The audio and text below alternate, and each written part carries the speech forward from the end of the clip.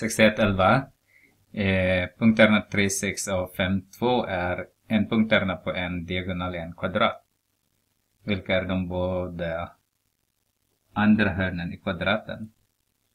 Så om vi tittar på 3 och 6, här är 3 och 3 där och 6 där. Så den där punkten. Och vi har ju 5 och 2. 5 och 2. Så. Den där är diagonalen.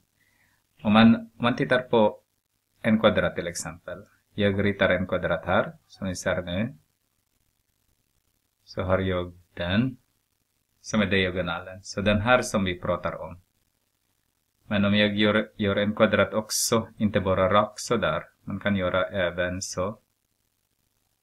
En kvadrat. Kan göra fyra så. Och sen fyra. Och så en, två där och en, två. Så. Och då har jag en, två. Och har jag den där. Så pratar vi om den där diagonalen. Så, så om jag skulle kunna göra här då, att jag har ett, två, tre där. Så, exakt samma som jag gjorde där. Och ett, två, tre där också. Och sen har jag ett, två, tre där. ett, två, tre. Och sen två, tre där. Så har jag en kvadrat där. Så den här punkten är, vad är den här? 2 och 3. Den här punkten är eh,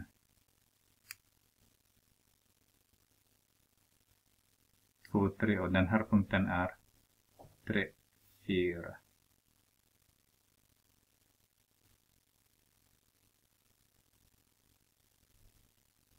Sex och fem är det. Här är fem och sex ja. Sex och fem är det. Så den här är 2, 3 och den här punkten är sex och fem.